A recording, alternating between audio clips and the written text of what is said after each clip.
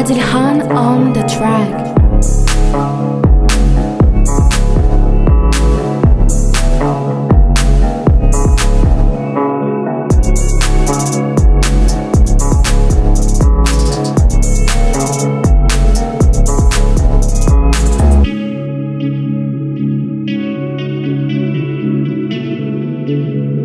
Hey, buy my beat.